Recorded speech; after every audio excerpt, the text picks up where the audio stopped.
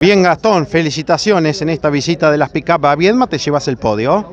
Muchísimas gracias, muy contento, por supuesto que agradecido al Cogro del Racing por el gran trabajo que se hace, el gran trabajo técnico también que ha implementado todo el staff eh, del equipo.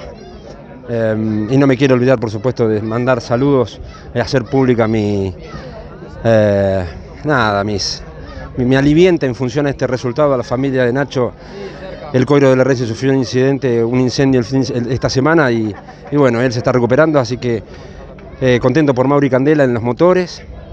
Y bueno, los ancianos, mis viejos que están trabajando tra siempre, Marce y Juan a fondo en mis autos, tanto en la camioneta como, como, como en el Chevrolet.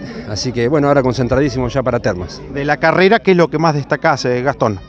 Creo que eh, nosotros tuvimos unas primeras ocho vueltas rápidas, realmente en ritmo de punta.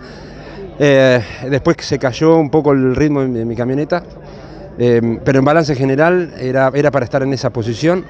Después cuando Manu me pasa, yo creía que podía volver a recuperar la posición. Él no bloqueó varias veces en, en la horquilla, varias veces.